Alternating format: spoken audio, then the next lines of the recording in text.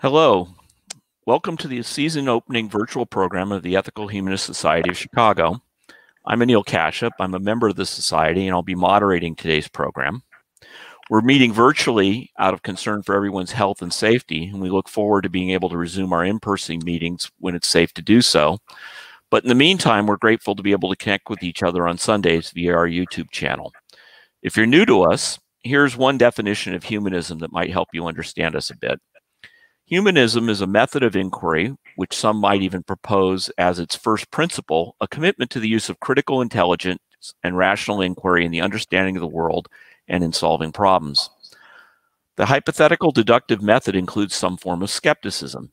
The humanist recognizes that one's not infallible, that human knowledge is often difficult to discover, that the truth is the product of give and take of competing views, and therefore one may be mis mistaken in one's point of view.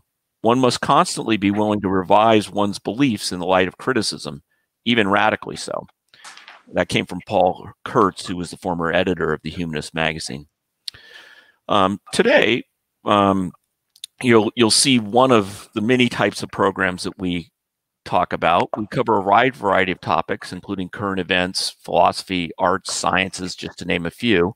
Today's presentation is going to be part of our ongoing programming related to politics. Um, to deliver it, we're delighted to have a return appearance by Eric Posner. Eric's the Kirkland and Ellis Distinguished Service Professor of Law and the Arthur K, uh, Esther Kane Research Chair, as well as a Fellow of the American Academy of Arts and Sciences and the American Law Institute. His research uh, interests include financial regulation, international law, and constitutional law, but that's really only the tip of the iceberg. If I counted correctly, he has 15 books, and today he's going to talk about his latest one, The Demagogue's Playbook, The Battle for American Democracy from the Founders to Trump. So without further ado, here's Eric. Thanks so much, Anil. And it's terrific to be back, even if only in virtual form. But I hope to visit you again in person sometime in, sometime soon. Um, just uh, before I start, we've had a variety of technical issues. So I'm, I'm actually using my iPhone uh, to uh, broadcast because my laptop didn't work. So if you see me kind of, you know, moving around and shaking and so forth, uh, that, that that's why, and I, and I, I apologize. But uh, you know, we're all facing uh, technical problems these days, and it looks like uh, this system is working well enough. So um, let me talk about this book I published recently. It came out last June called The Demagogue's Playbook and um, I wrote this book. Uh, I, I, began writing this book really shortly after uh, Donald Trump was elected. Uh, like uh, you know, many people, I was surprised that he was elected. I was I was surprised that he won the Republican um, primary, and then I was surprised again when he when he won the the uh, presidential election. And um, I have uh, written about presidential power over the years.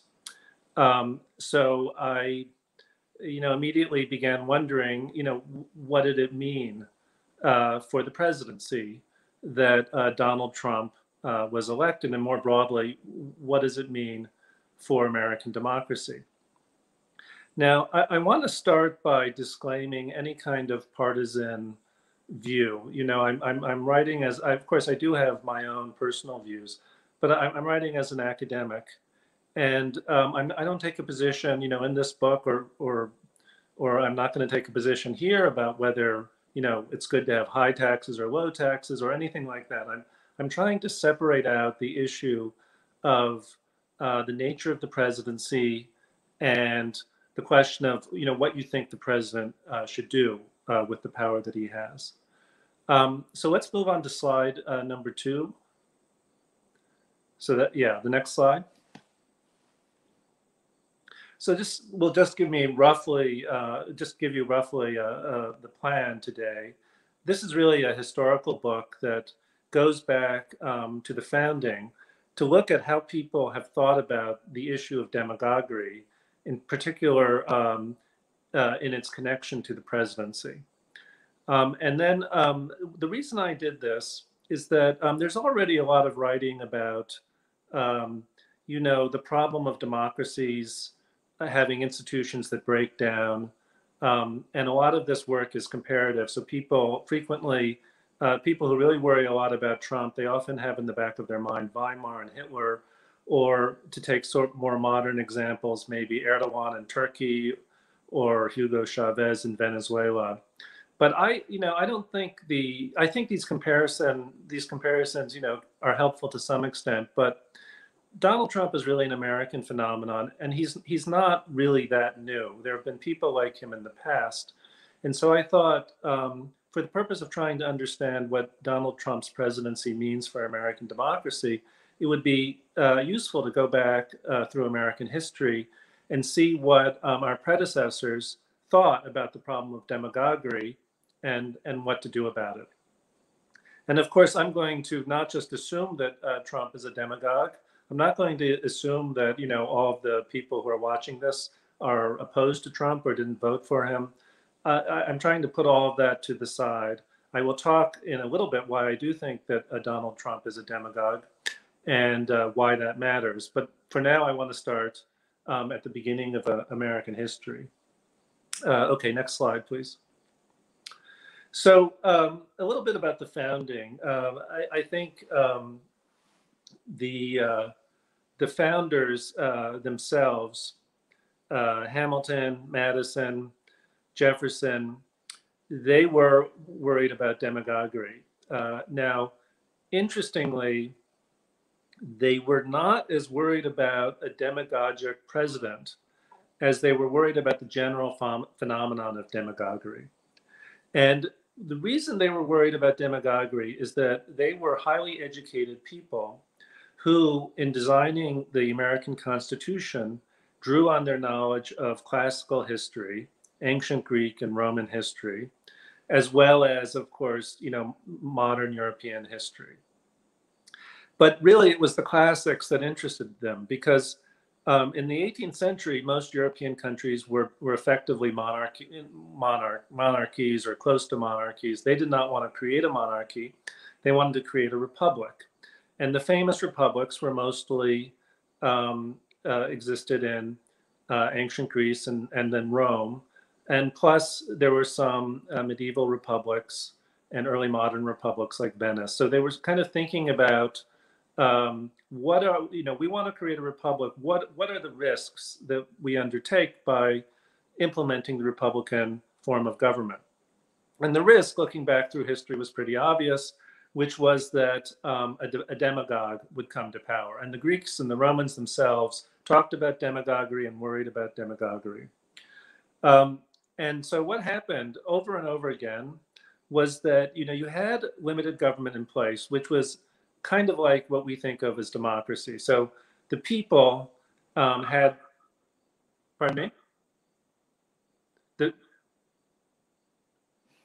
the Oh, I'm sorry. Uh, just a, one second while I fix a problem here. So the the the um, um, the um, in a in a classical republic, it didn't really mean a democracy, but it did mean that the people would have a, a significant amount of influence on public policy, either in electing officials or or directly. Um, and uh, and this was considered a, you know a good thing uh, because if the people weren't involved, then you had the problem of, of a usually a predatory aristocracy or or monarch uh, exploiting the people uh, so as to enrich themselves. But the problem with the people were, was that the people were vulnerable to what they would call a demagogue. And what was distinctive about a demagogue was that this was a person who was immensely charismatic, who would make you know promises of riches and other benefits in order to obtain people's votes. And then, once in power, would uh, destroy institutions, the courts, and other institutions that people uh, regarded as valuable. This happened over and over in the ancient world. Famously, of course, the uh, the Roman Republic, which had lasted for 500 years, collapsed when a demagogue, Caesar, uh, was able to obtain power through his through his charisma. And I'm, I'm sure most of you have seen Shakespeare's play. And, and Shakespeare's play, you know, it's not that historically accurate, but it does, you know, kind of reflect um, the, the worries of the founders. You might remember in the in the play how easily easily it was for Brutus and Cassius and others to sway the mob. You know, there were the people out there and they weren't very smart, and they were easily swayed by emotion and great rhetoric. But you know, if that's the case, you're not going to have a very strong government. So what the founders did is they they self-consciously created what they what we we might call bulwarks against demagoguery. And I mentioned earlier, by the way, that they weren't that they weren't so much, you know, maybe surprisingly concerned about a presidential demagogue. What they were really worried about at the time was what they called legislative tyranny, because in the immediate past, before they drafted the Constitution, the real problem were excessively powerful state legislatures and very weak governors. But you know, the, the broader problem was you know power-hungry politicians coming to power by manipulating uh, pop, uh, popular opinion. And, and a further fact about the founding, as the founders well understood, was that most Americans, you know, they were not well educated. They were actually, you know, pretty illiterate. Um, they were isolated, um, living on farms. Um, so they were a little bit worried about whether um, ordinary people would be able to exercise the wisdom to choose uh, good leaders and to avoid demagogues. So here were the solutions, these bulwarks, as I call them. The first was something that seems obvious today, but at the time was a, was a big part of their deliberations, was that we would have a representative democracy. And that didn't just mean that the people chose a representative, it meant that the people chose a wise representative, somebody with experience, someone who was educated.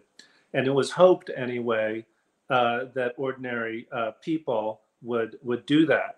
But they were only allowed to do that with respect to the House. You know, they were allowed to directly elect members of the House, but um, senators were chosen by state legislatures, and the president was chosen through the Electoral College.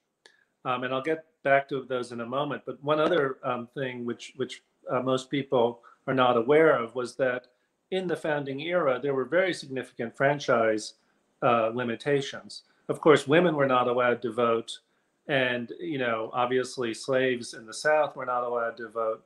But more but beyond that you know basically in most states poor people were not allowed to vote. There was a property requirement and there's a general view that the right to vote was a privilege or i should say that voting was a privilege not a right. And and it was only um, the, the only people who'd be able to exercise those privilege would be people with enough education and wealth that they would be able to exercise uh, their vote uh, wisely.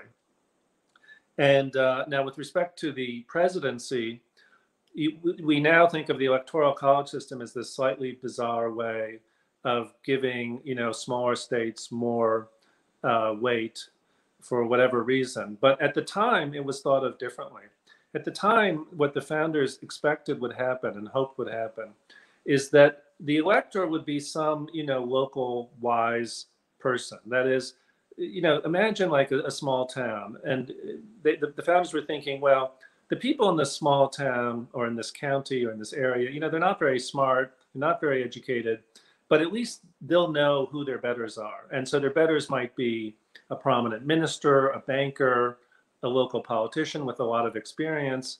And the hope was was that the ordinary person would select that, you know, notable to be an elector. And then the elector would himself use his own discretion to vote for the president. So it wasn't that people would say, you know, I want you to elect uh, Joe Biden elector, and then the elector would go ahead and do it. The people would just um, they would just vote for the elector, and then it was up for the elector himself to decide would Trump be better, would be Biden, would Biden be better? I'll, you know, I'll vote for whoever I think I'm better, relying on my wisdom and experience. And so this system was very elitist. It, it was self-consciously elitist, and the you know the founders, well, you know they they were kind of hostile toward Great Britain because they were in a war with it.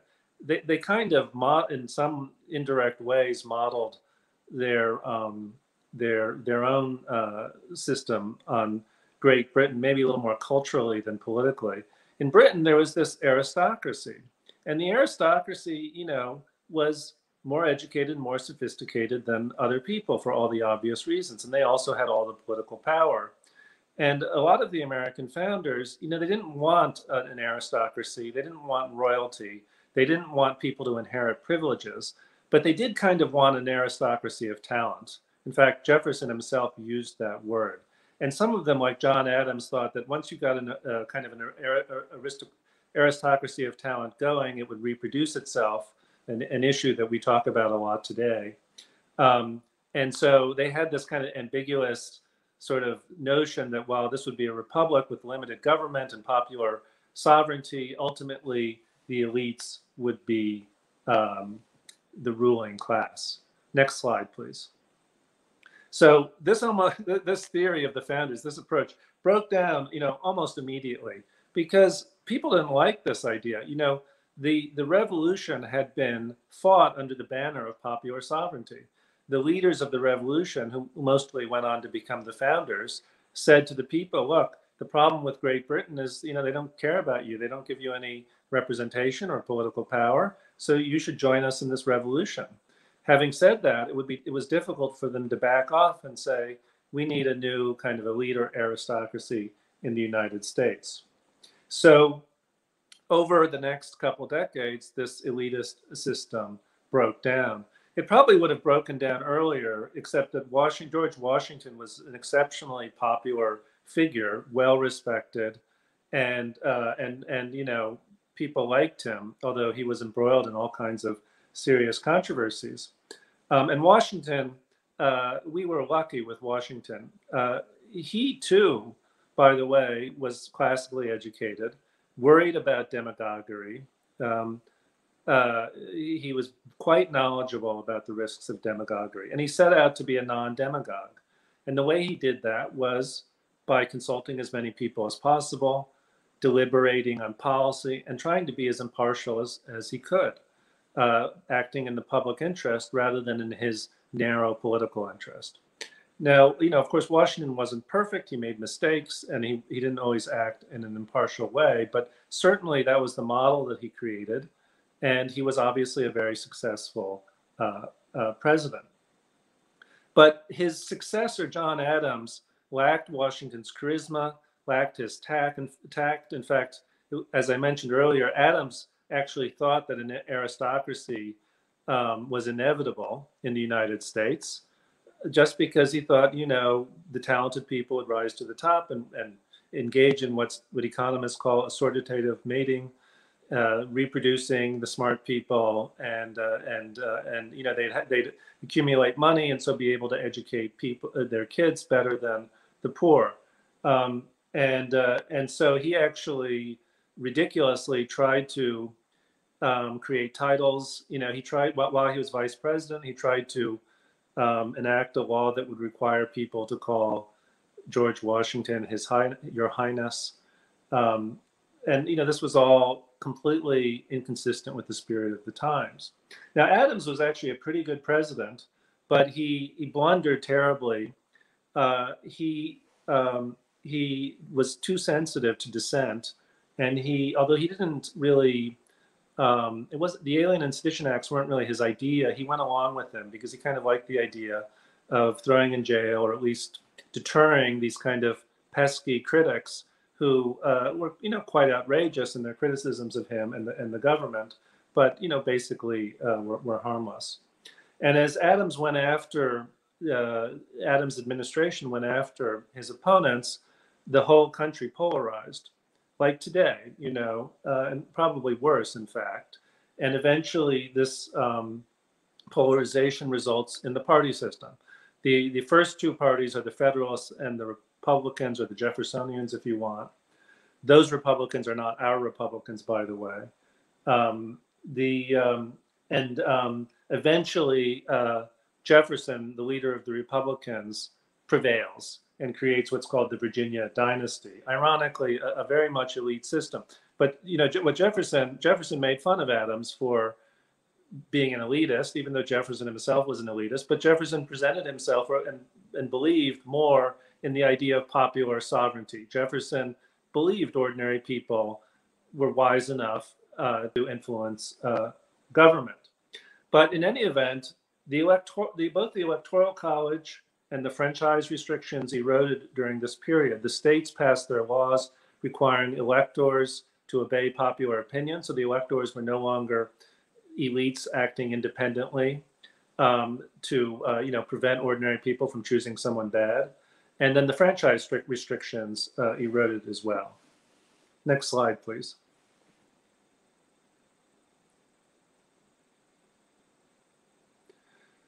Th- this is a, a famous um, painting of um, uh, Andrew Jackson's inauguration. When when Jackson, so Andrew Jackson was, uh, I think, the only Trumpian figure in American presidential history.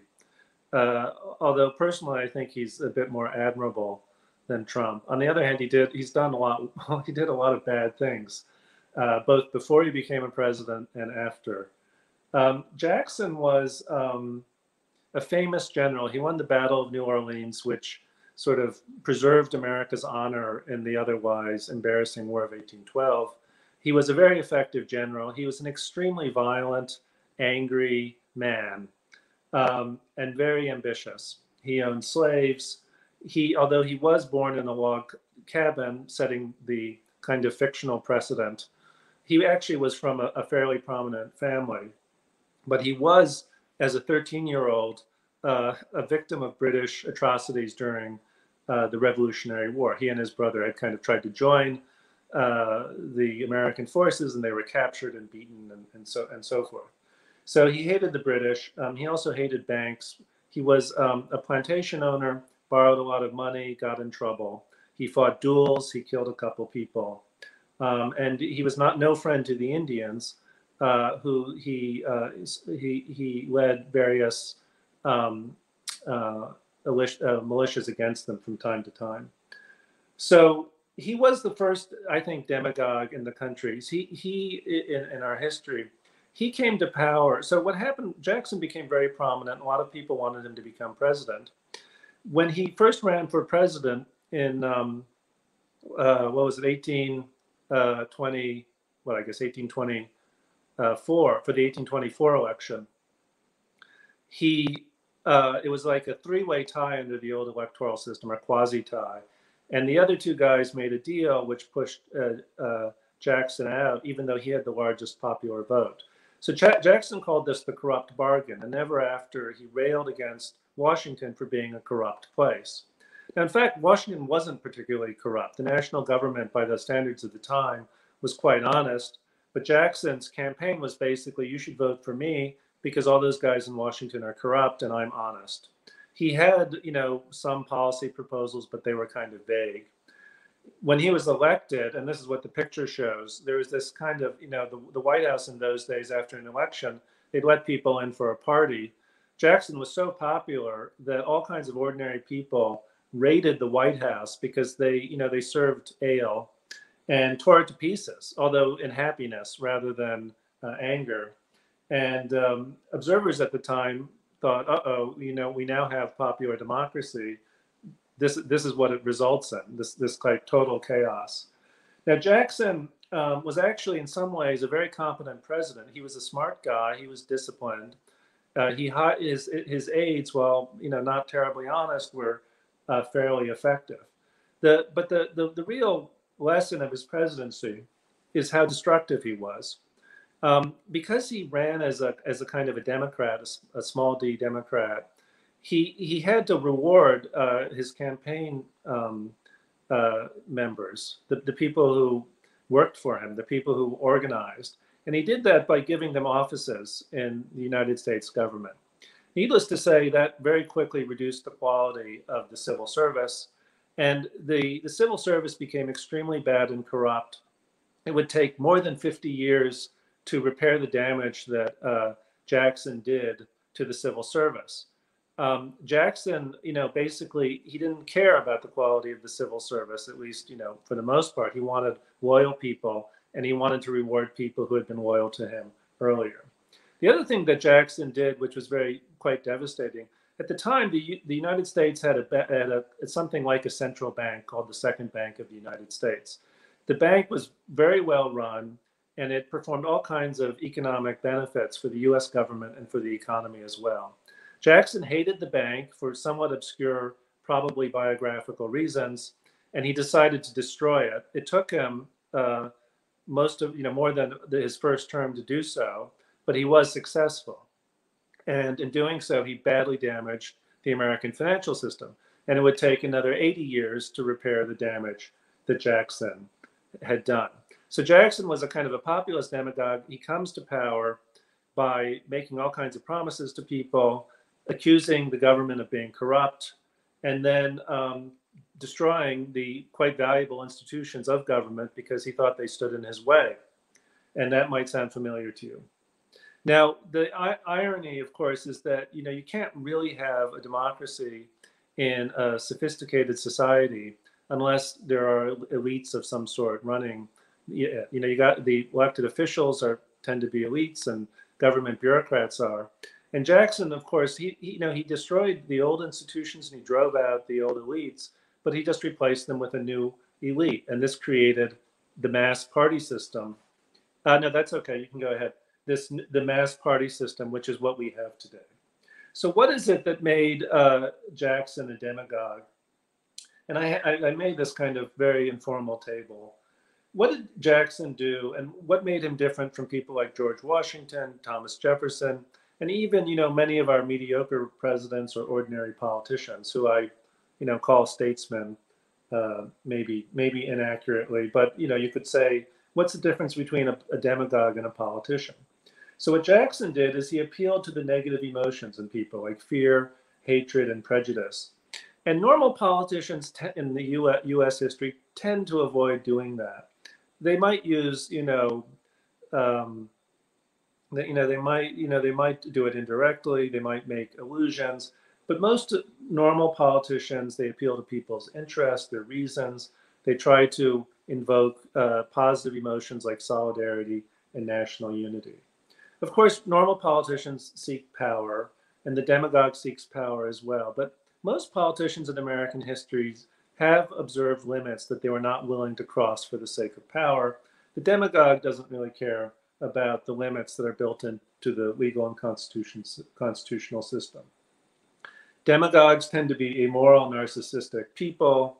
While not all politicians are virtuous and prudent, they tend to be, you know, reasonably well-adjusted people because they have to rise through the ranks and interact with lots of other politicians as well as their constituents. The demagogue, as we saw with Jackson, the claim to authority, to authority is, is ten, tends to be uh, the attack on the existing system, the establishment of the elites. And they claim authority by saying they have some kind of mystical connection to the people, whereas ordinary politicians tend to uh, uh, their claim to authority tends to be based on their experience, uh, their expertise, and you know to some extent their their moral character. The style of the demagogue is tends to be vulgar.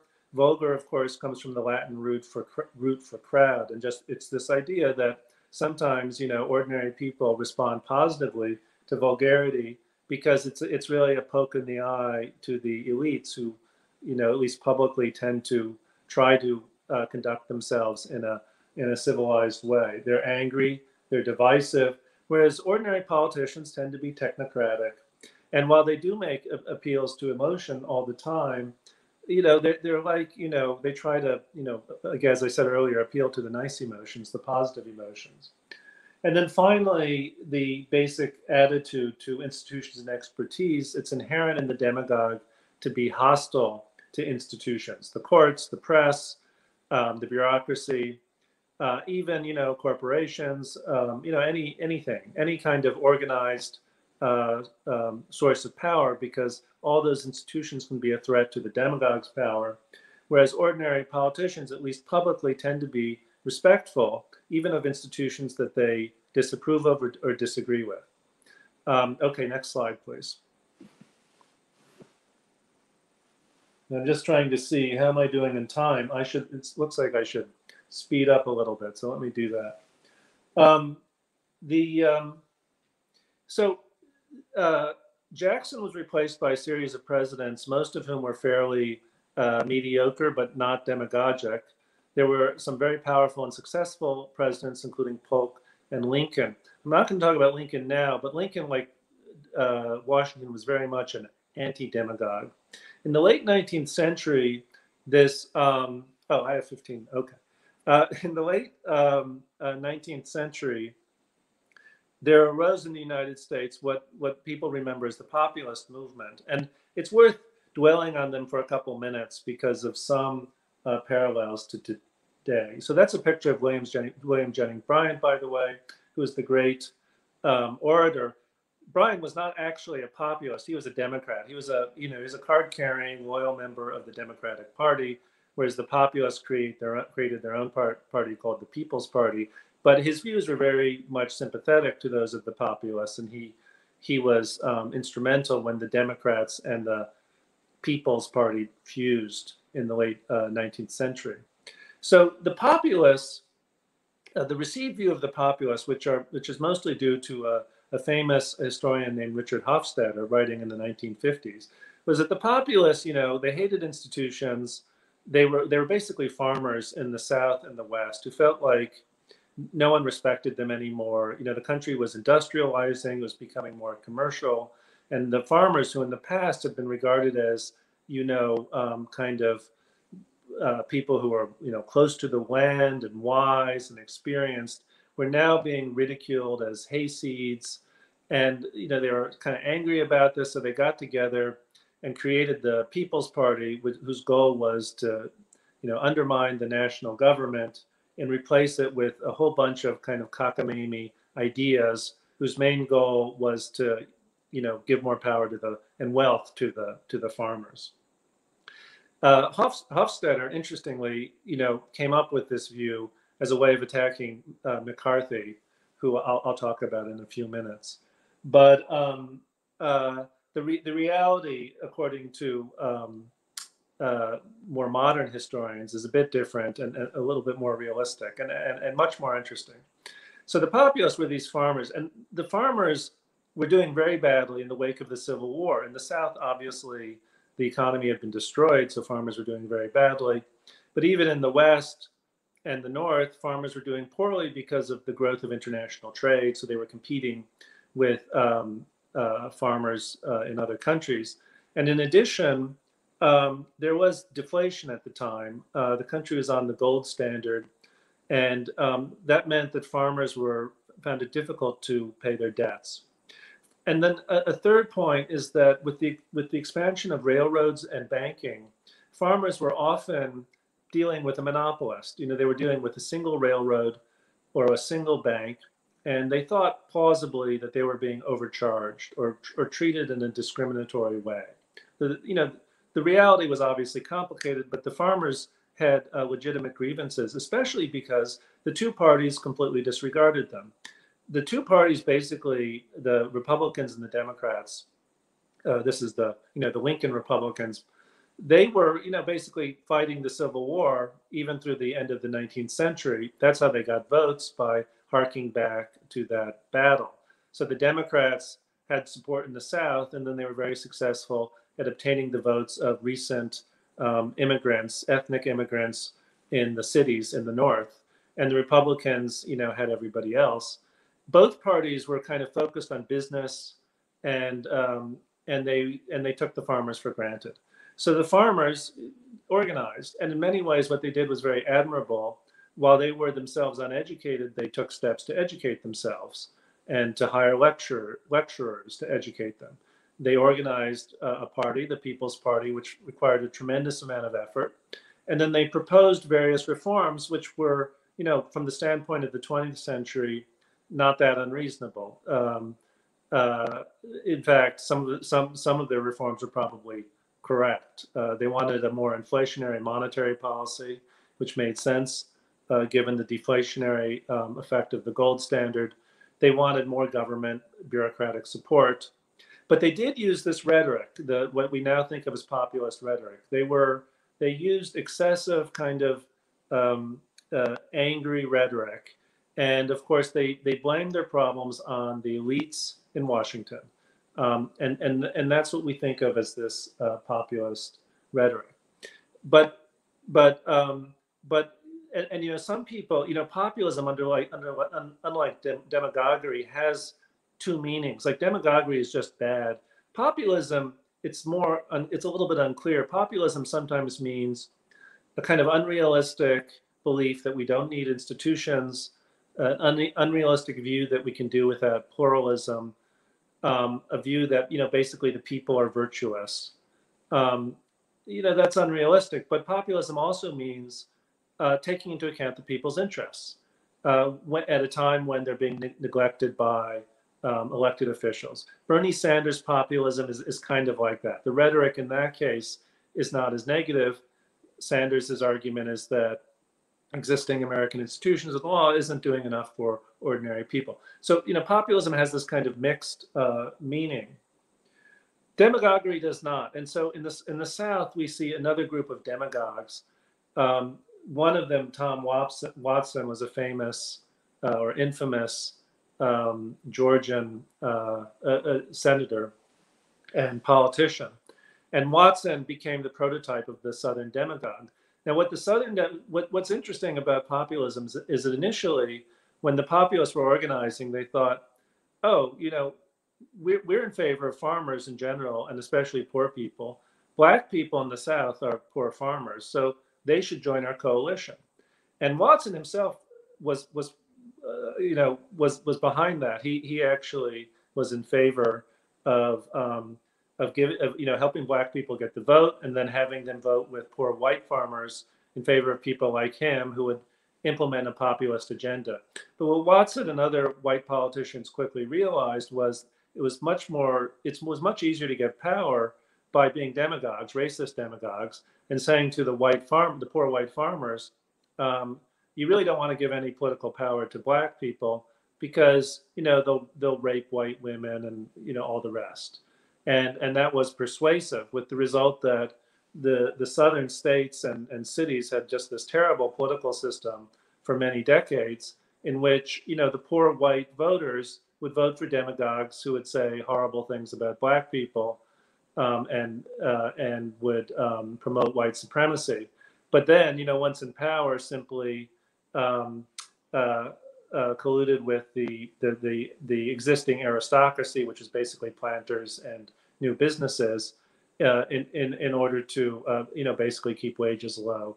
So, um, so that's the downside of populism is that it can lead to a type of demagoguery. Next slide, please. So the greatest uh, demagogue, and I mean great in, in, the sense of most famous and most effective, in American history was Huey Long. Huey Long, uh, uh, Franklin Roosevelt once said that Huey Long was one of the two most dangerous people in America. Um, the other person I, he was referring to was Douglas MacArthur, interestingly. But let's focus on Huey Long. Huey Long was this unbelievably effective, charismatic politician in uh, Louisiana. He was obviously a, a, very brilliant person, as well as completely immoral. And uh, also uh, unbelievably ambitious. So, as a very young man, uh, he rapidly uh, obtained power because he had uh, he hit on a formula, which was basically he could he could get power in Louisiana. Uh, he could rise through the party system, which would take a long time, or he could attack the party system as corrupt, which is what he did.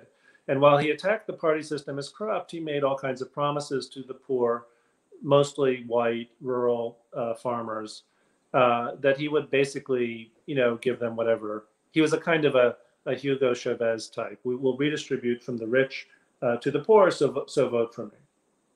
Now, needless to say, he didn't do that. Although he did it more than you know other people did. He did build ro- roads and schools and distributed school books. And there's still a debate among uh, historians about whether you know how much good he did do.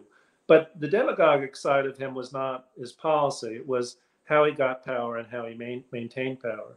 So he got power by making promises that were, you know, wildly um, beyond what he could possibly keep by using this explosive anti-corruption, anti-establishment rhetoric. And of course, the establishment was corrupt, so you know, it wasn't entirely he wasn't entirely wrong.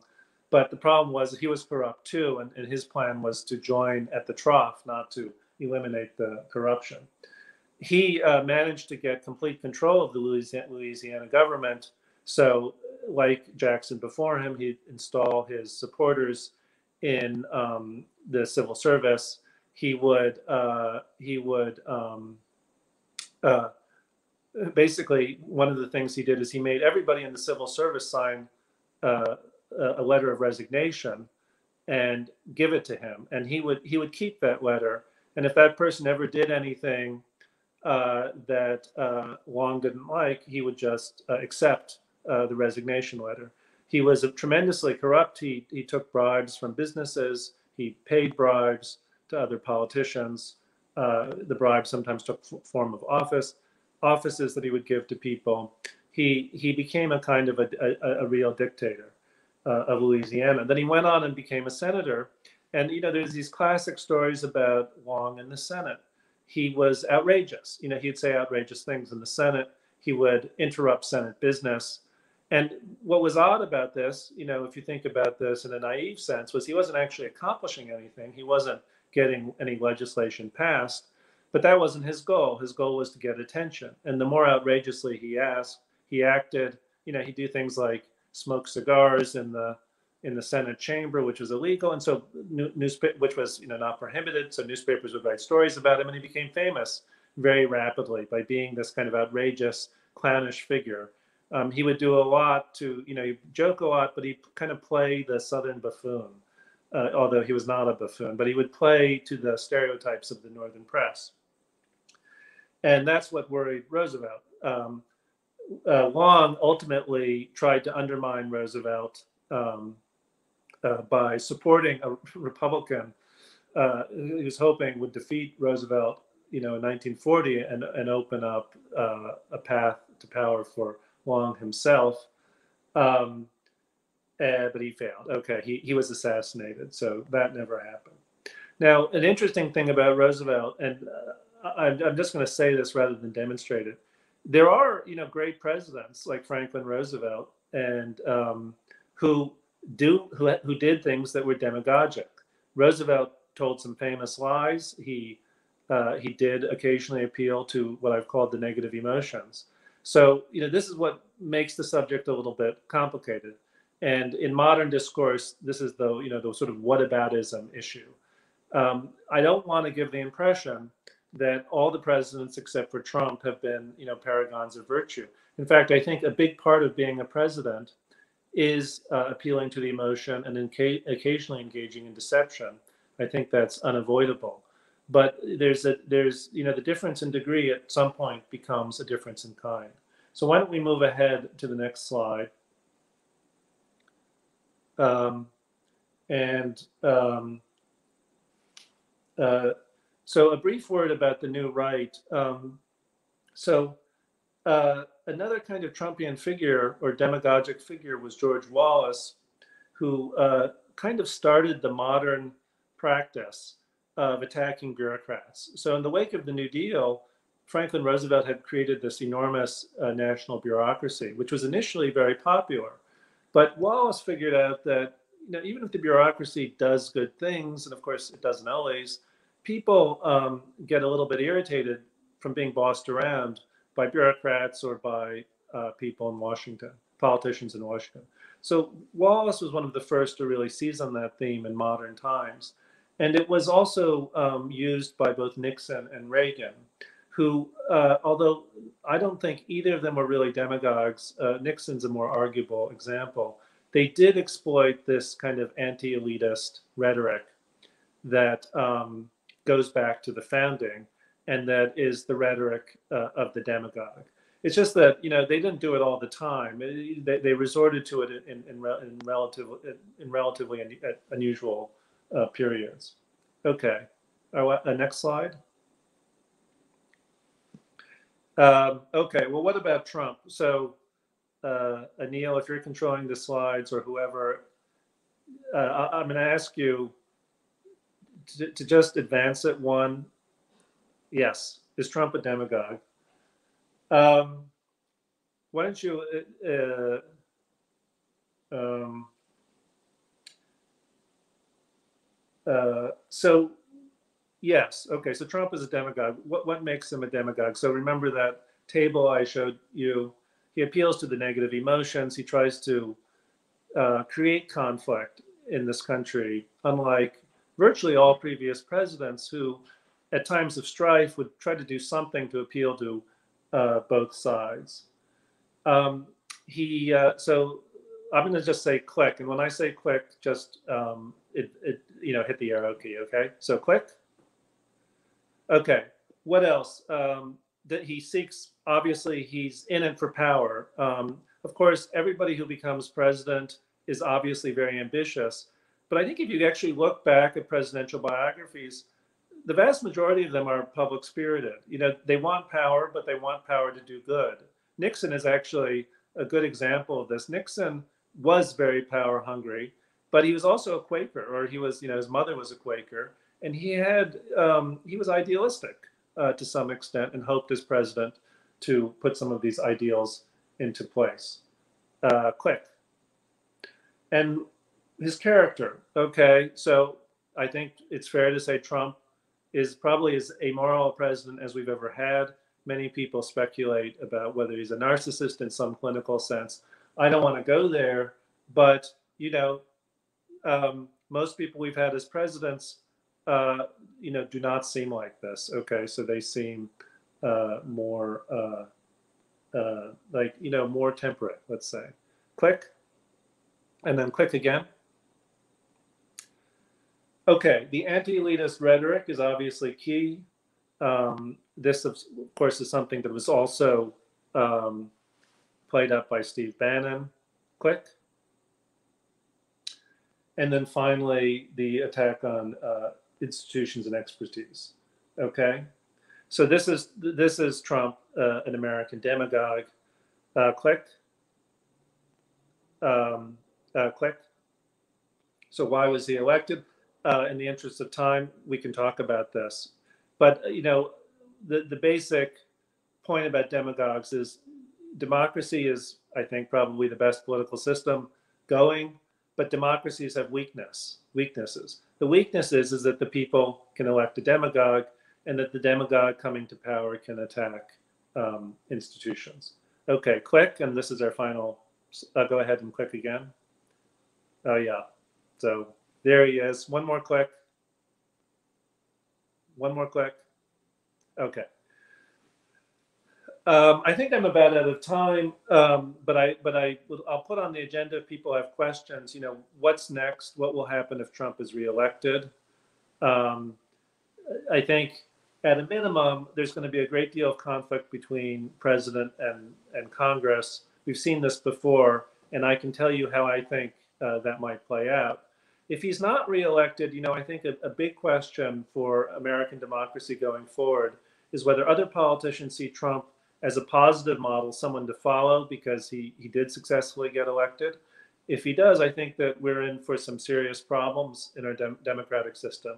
But another uh, more optimistic approach is that other uh, ambitious people who want the presidency will look back at Trump and his, and his administration and say, you know, this was not good for America, and this is not how I want to become president.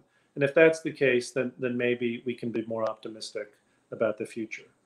Uh, so thank you very much. And uh, assuming I can take questions over this, I'd be happy to take questions. Okay, thanks, Eric. That was great. Um, we're going to have a short musical interlude now. Um, while we're doing that, you can collect your thoughts. You can start typing your questions into the community chat so that we'll begin collecting those. Uh, while you're uh, collecting your thoughts, you can uh, contribute uh, virtually at ethicalhumanistsociety.org slash donate or via Zelle by sending uh, a message to um, donate at ethicalhuman.org. Um, through the generosity of, of these donations, we show how meaningful these programs are.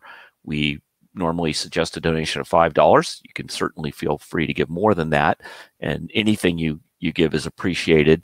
Um, we we really appreciate everything that everybody in the society has been doing to sustain our community during these these difficult times. So we'll be back in a minute with uh, the, the question and answers. And in the meantime, you're going to see a nice slideshow that Steve Julstrom has put together.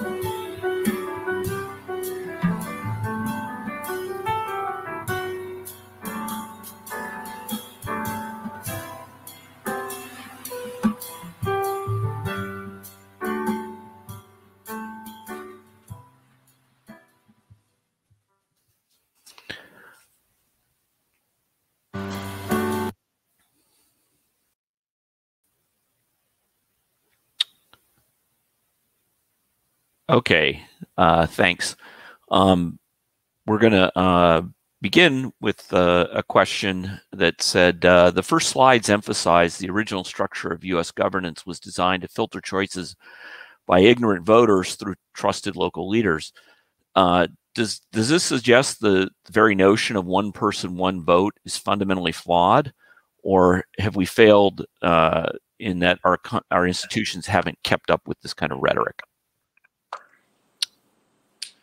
The founders did not really believe in one person, one vote. Um, they they didn't think in exactly that way. You know, the the actual notion that one person, one vote really did not firmly enter the U.S. Uh, constitutional system until really the 1960s, when the Supreme Court um, expressed this as a norm. And you know, there are many ways in which our system really doesn't reflect uh, the idea of one person, one vote, such as the disproportionate um, way that senators uh, uh represent uh, uh, populations.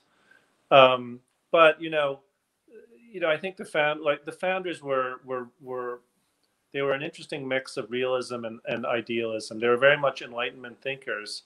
They were basically um, optimistic about about people. They thought that people um, were um, capable of being educated and um, exercising political influence in a responsible way.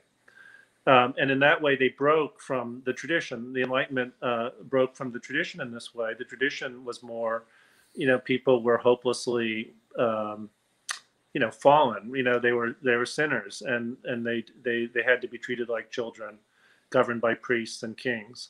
So so the Enlightenment view is totally different and, and reflects this kind of mo- more modern faith in the way in the capacity of people to, to govern themselves but as I said, the founders were were realists, and, and, to defend them a little bit, I mean, you you have to remember that there was no public schooling. You know, a lot of people were illiterate at the time, and it wasn't just that. You know, most people lived on farms. You know, they didn't live in cities. They didn't have any exposure to media.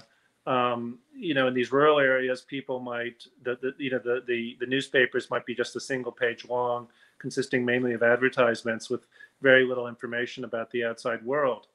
People work very hard, you know, on the farms and so forth. And so, you know, the founders had this kind of mixed view. They wanted people to exercise political power. They didn't really trust, um, you know, governments in general, uh, if they were just operated by aristocracies or kings. But they also thought that, um, you know, realistically, people without much experience of the world and without much education wouldn't know what to do. And so this is why they thought of a republican form of government rather than a democracy. Democracy would have meant um, you know, just ordinary people voting uh, the way they do now. Um, that type of democracy was almost a, a negative had a negative connotation and the reason was was that Athens was that sort of democracy, and and and you know the historical accounts was that it was pretty chaotic horrible decisions were made. So now I think the more modern view is that uh, more optimistic about the ability of people to participate politically, um, and and you know I think justifiably so. Uh, you know, in some ways, people are more educated than in the past, and, and, and in another sense, you can say, you know, even people without wide experience and a lot of education, I mean, they're still smart and they know their own interests and so they should play a role in in in, in political outcomes.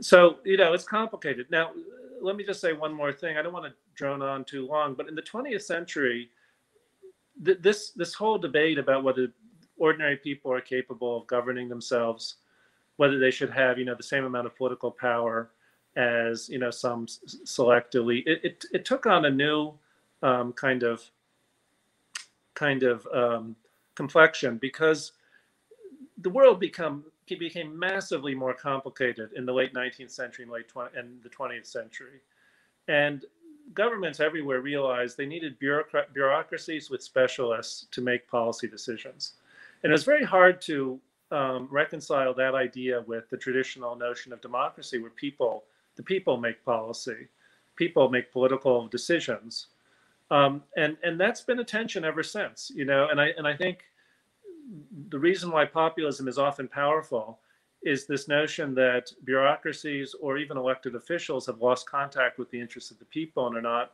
not doing the right thing. And meanwhile, ordinary people aren't able to really exercise influence except from time to time by you know voting in an election, to which to a lot of people doesn't seem to make much difference. Maybe because the candidates uh, are very similar. So I, I, think we're kind of caught in the same trap as as the um, as the founders. We do want one person, one vote. That is an ideal that we aspire to, but we have to be realistic about the complexity of the world and the necessity of of of, of relying on um, I guess, a kind of uh, elite who's developed the expertise that we need to address uh, problems. So the next question follows up very nicely with that, which is, are there institutional reforms that you think we need to shore up our system and protect it from demagogues? Yeah, when I first wrote this book, I, I actually thought about talking about institutional reforms, um, and there are a number, and, and and and I'll mention them in a moment but but that said, I you know the purpose of this book is is not really to recommend institutional reforms. It's really you know to it's it's an attempt to try to talk to people and persuade them that that there's something wrong with Trump as a demagogue and that we don't want demagogues as our president. I, I think it's much more important for people just to think that for for ordinary people to understand the risks. My worry is is that a lot of people who might be inclined to support um, a, a, president because of that president's policies may overlook the way that a particular president might damage uh, um, uh, institutions so that in the long term we're going to have a, a, worse a worse state. Now what could you do to you know recreate these these um, bulwarks?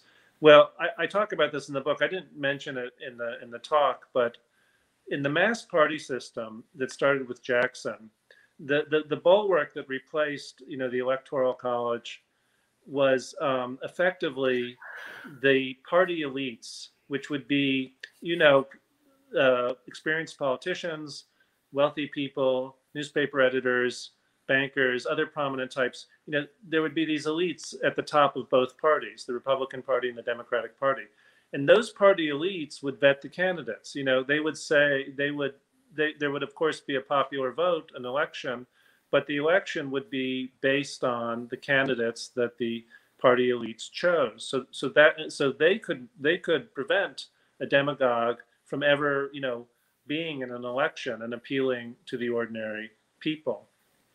Now that that that was considered elitist as well and was attacked in the 20th century when pri- the primary election system was established, and that was supposed to, you know, democratize and allow ordinary people to have more influence in choosing the candidates rather than just the president. And uh, and that system was ignored until the, you know didn't have much effect until the 1960s and 1970s, when in response to the 60s and the and Vietnam and all that stuff, um, the primary systems were, were made powerful again and and I think that that led to Trump.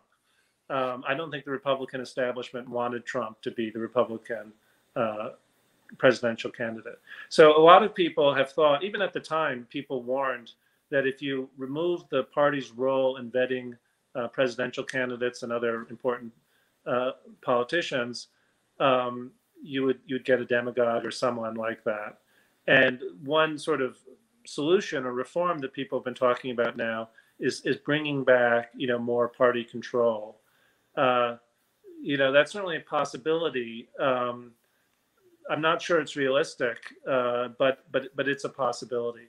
Now, other reforms, you know, are not so realistic. You, we're not going to bring back the old electoral college. Um, you know, any reform is going to be attacked as being anti-democratic. Uh, uh, so, I, I, think that I'd rather uh, you know, I'd rather, if we're gonna, if there's any chance of reforming our political system at all, I think rather than focusing on building up, um, you know, bulwarks, new bulwarks against demagogues, I would just support reforms that people have talked about a lot, um, giving more influence to the popular vote, uh, you know, fixing the disproportionate representation in the Senate, trying to reduce the role of money in, in politics, and, and, and that sort of thing. I think those are much more realistic uh, reforms, although they're not very realistic, to tell the truth. But you know, they're more plausible than trying to do something that looks uh, undemocratic. I see. Do, do you think, in the current context, that uh, one party or the other is more likely to produce a demagogue? Well, yeah. I mean, you know, I think thanks to Trump, I mean, you know, interestingly, demagogues often um, do, are not party loyalists. In fact, Trump wasn't, right? And Huey Long was not. They, they usually, and Jackson was not. They usually attack the party system because the party system is itself, you know, one of these bulwarks that keeps the demagogue out of power. So, you know, if you'd asked me this question 10 years ago, I would have said, uh, you know, if a demagogue appears, it might be a demo, he might be a Democrat, he might be a Republican, he might start a third party. There are people from the recent past like Patrick Buchanan and Ross Perot who were kind of like demagogues, and Perot did start a third party. I think it was called the Liberty Party. Buchanan ran, uh, you know, ran for president under that in that party um, after being a Republican. So, you know, ten years ago I would have said it could be either party, right? It could or or a new party. But nowadays it seems pretty clear that Trump has has left his mark on the Republican Party, and the Republican Party has become uh, less. Um, uh, you know, I don't know exactly how to put this because I, I, I promise not to be partisan, but the Republican Party seems to be more receptive to the type of demagoguery that Trump exemplifies than the than the Democratic Party is, and that's partly because Trump's the head of the party, and so um, people who want to rise in the ranks in the Republican Party, they know that if they can catch Trump's eye and get some tweets of support from him, um, they may well do do well. And so right now there are you know lower level elected officials or people running for office uh, in the Republican Party who seem quite demagogic. And you know I'm not an expert on this, but I haven't seen anything similar in the Democratic Party. Um, why don't we take you up on your offer to talk about the future? I mean, the, the question that was posed is, do you think the U.S. can survive another four years of a demagogue? But if you want to say more broadly what your your uh, thoughts are on on the next couple of years, that would be interesting. Right. So uh, I've been thinking about this a lot, and you know, you can take different perspectives. I mean, one immediate question is: if, if let's suppose Trump is reelected, and the Democrats will almost certainly hold on to the House, and, and maybe they would they would obtain the Senate. So I think this would be a dangerous time. You know, a lot of um, presidential countries with presidential systems like the United States, the the the, the political system breaks down when there's polarization between the presidency and the Congress. Because what happens is that there's gridlock, the public becomes impatient that nothing's being accomplished, and at some point the president might claim dictatorial powers or some kind of expansive uh, powers. You know, I don't see this happening in the United States. I just don't think it's part of our political culture. Our, we have a lot of powerful institutions that would resist that but there would certainly be uh, you know a lot of tension, um, litigation. Uh, uh, it, it, would be a very, I think, dangerous uh, time. Um, there would also be the worry that the government wouldn't be able to get much done. So, so I would be quite worried. But, but I think, you know, a lot of people are worried that Trump will become a dictator. I, I don't actually think that, that that's correct. My, my greater worry is just that American political institutions will will not perform as well if the national government is so polarized and and divided. Um, in the longer term, uh, if he's reelected, as I mentioned briefly during my remarks, my worry is that other politicians will say, you know, this is how to become a president. And if we begin to get, you know, a series of demagogues, maybe Democratic demagogues and Republican demagogues, and, and that becomes the norm, uh, th- then then I do think we're in pretty serious trouble because the political system ultimately functions. Um, you know, it's an interesting. It's a bit like the market. You know, you have political competition, which is very important. Competition between the parties, because they're they're both trying to you know do the best job so that people will elect them. But they also have to cooperate. And so when people talk about norms being broken and degrading, that's what they're referring to. There are all kinds of norms that ensure cooperation between the parties. Um, Trump has attacked these norms, and I think any future demagogue will as well. And as they do so, and as political cooperation becomes uh, less possible, we're going, we would see a, a long-term um, decline in the efficacy of, of our national government and maybe state state governments as well. I'm not I'm, I'm not I'm not saying this is likely. I, I think it's probably less like you know less likely to occur than some kind of reform. Um, after Nixon, there was a great deal of reform in the national government, which made things better uh, temporarily. And um, my, my best guess, certainly if Trump loses, um, that there will be efforts to um, repudiate Trump. And it's kind of interesting to see, to speculate about what they might look like.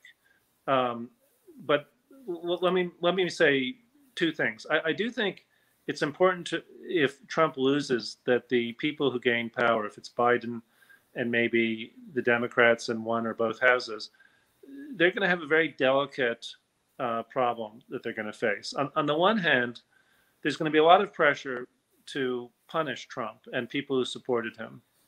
Uh, you know, may, maybe that can be done legitimately because Trump has genuinely violated the law in various ways. But but maybe you know there would be an, an effort to kind of drum up something to to you know to, to retaliate against him for what he's done. Um, a political trial, in other words. And there's a long history of that. And those things are very dangerous because they tend to increase polarization rather than, you know, overcome it. Um, but I do think that Trump's replacements, his successors, do need to do something to try to repudiate his legacy, the, le- the legacy of the demagogue. Um, you know, it, it, could be legal reforms that uh, that maybe reduce presidential power somewhat, uh, bring back various forms of oversight. Um, all of those, you know, might be reasonable. Uh, some people have talked about truth commissions. I suspect that, that that's not going to work here in the United States.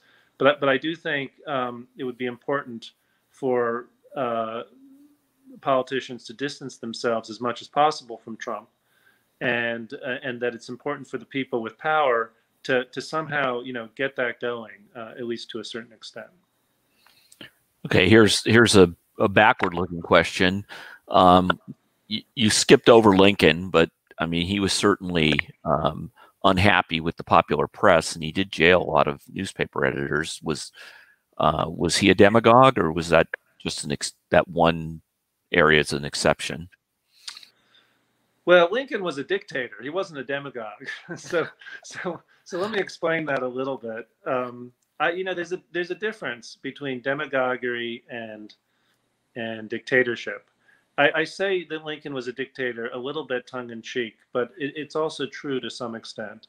He was a wartime leader, and he had massive. He claimed massive powers as the executive at the time in the time of war, and you know historians debate this, but I think the the general view is that he was justified. There was a war going on. Um, Lincoln, though, was not a demagogue. Like he he he he uh, he didn't try to abuse his powers, and I'll get to the censorship in a moment. He, um, in fact, you know, of course, famously, he he ran for election, for re-election, even though he thought he would lose to McClellan, because he didn't want to, you know, claim dictatorship. And, and you know, it, it wouldn't have been totally implausible for him to suspend the election. Uh, in you know parliamentary systems, elections are you know not held during wars. So, you know, he could have said, look, that's what they do in Britain. I'm going to do it here. But no, you know, he wanted democratic legitimacy. And the reason why he needed dictatorial power was that there was a war going on. So decisions had to be made rapid, rapidly, they had to be done secretly. And so you couldn't go through Congress the way one does uh, during normal times. And, you know, that's just kind of how the system works. But the amazing thing about Lincoln, and the, the reason why he's not a demagogue, I mean, you know, the, the Gettysburg Address, I he doesn't. He barely even mentions the South. You know, he doesn't go around attacking the South, demonizing them, calling them horrible, the way most wartime leaders would. You know, he says, "With malice for none." You know, he says, well, maybe that was his inaugural address. But in any event, he he um, his second inaugural address. Um, all right, I'm running out of battery power, so if, if I disappear, that's that's why. Uh, this is the hazard of using an iPhone. But uh, but um, but he um, uh, I, will thank you in advance just in case I, I just totally disappear. But um, but uh, but now with respect to the censorship, and it wasn't just censorship. Um, basically, um, military military governments were imposed in many parts of the country, in the border states and in Ohio and other parts of the states. And it was really at the initiative of the military. The military would, you know, jail uh, uh, Lincoln's opponents, and it would censor people. And Lincoln was actually not very happy with that, and he tried to get his generals to be, you know, to use a lighter hand. Um, but he also had to acquiesce to them to some extent. Maybe he agreed with them to some extent, but I think more broadly, he, you know, he, you know, once you give the military the power to keep order in a particular area, you can't really tell them what to do. I mean, that's that's the nature of civil military relations. So I, am actually pretty sympathetic uh, to Lincoln, and I, considering what the world was like, he's amazing. You know, his his you know insistence on on being reasonable, on avoiding you know malice and revenge and you know vengeful talk and all that stuff is is, is actually quite astonishing and uh, some of you may have read Garry Wills's book on, on Lincoln's address, and it's really fascinating uh, uh, how how much whoops how much restraint he showed at a time of you know extraordinarily extraordinary violence and and and polarization. If, if you want to walk somewhere to try to find a, a charger, we won't judge based on whatever yeah. shows up randomly in the picture. But um, it, maybe I'll do that. One one question we had was um, about the whether or not there's a natural uh, tendency for demagogues to appear at a national level instead of a a, a local level. It, it, does seem like a lot of what they they do is they militate militate in favor of smaller national government, drain the swamp, all that kind of stuff, uh, where you can point to faithless and unresponsive bureaucrats in a way that you can't really do with your mayor and your school board and and um, local people. So, is, is there something to that? Uh oh, you froze. Yes, there is. Uh, okay. Very much so. The uh, the the, um, the you know the founders, uh, you know, dealt with this problem. They wanted a powerful country, and they realized that the the thirteen states uh, acting independently uh, are you still there? Yeah, we can yeah, hear you. Okay, great. The 13 states acting um, independently could be, were vulnerable. They could be divided by the great empires of the time, including uh, uh, Britain, Spain, and France. Uh, they wouldn't be able to overcome Indian tribes. They wouldn't have a large uh, internal market. So they wanted to create, you know, a great country. They even thought in terms of empire and that meant creating a national government that would override uh, the power of local governments to to a large extent. But the immediate response from the people who are called anti-federalists was, well, this will just lead to you know corruption and abuse because you know we already were under the power of the British in London, and they did horrible things, and and basically all you all you want to do is um, uh, uh, um, move the seat of power from London to Washington. And in those days, you know, Washington was in a sense just as uh, far away as as London for all intents and purposes. So these anti-federalists were very much um, opposed to a national government, or at least the national government that the founders created. And uh, and you know they they lost, but this uh, you know this terrible um, this terrible um, tension would remain uh, uh, throughout history. And you know, I've often thought that you know maybe if we have a terrible polarization in this country, um, you know, it's in a sense it's countrywide, and it's inevitably going to undermine the efficacy of the national government, people's confidence in the national government, because either one side is going to control the government or another side. Or they're both going to have to share power, and it's not going to get anything done. And so maybe we should, uh, you know, we should um, uh, decentralized. Maybe more power power should flow back from the um, national government to the states and the, and the, and the localities. and and I think that's a legitimate um, uh, possibility. The, the problem, of course, is that we give up a lot. You know, the, the more power becomes decentralized and the less effective the uh, national government is, then, you know, the more difficult it is for the national government to solve, you know, problems that are countrywide or international. And, uh, you know, maybe that's unavoidable, but, but, but that's a, that's a significant cost. Okay, I think we've got time for two more questions. So, uh, the first is uh, what options do you think uh, exist if Trump loses but refuses to leave office? Uh, well, you know, it depends. Like we can game this out. Like so, it's you. You might be pleased to hear that if if he if he loses um, and if he doesn't leave office, you know, his status is basically that of a you know, a tourist who refuses to leave the White House after, you know, the the public uh, opening time, you know, has ended, right? He under the un, under the Constitution, the the the first per, the first term of the, the, the president's term ends. Um, you know, he's no longer president when his term ends. Uh, so the only way that Trump would remain president would be if the, the, the House accepted the electors and all that, and he was sworn into office by the, the Chief Justice. So, you know, if he really lost and everybody agreed that he lost, you know, the presumably, you know, the Secret Service, which is under the Treasury Department, which is run by uh, the Secretary of the Treasury, they'd say, "Sorry, Trump, you know, you got to leave. You're, you're no longer president." Now, now I think the, the the real worry is, I think, more complicated, but but still serious, which is that he will contest, um, you know, the election in every state where, let's suppose, the vote is close, and he'll argue whatever that mail-in ballots are fraudulent or what have you. Uh, yeah, I, am maybe a little more optimistic than other people, but I think, think you know all those disputes will go to the courts uh, the courts haven't, you know, the courts, even, you know, the Trump appointees on the courts, they're, they're reasonable people. They're not going to say, oh, you know, Trump lost, but I'm going to rule that, that he won.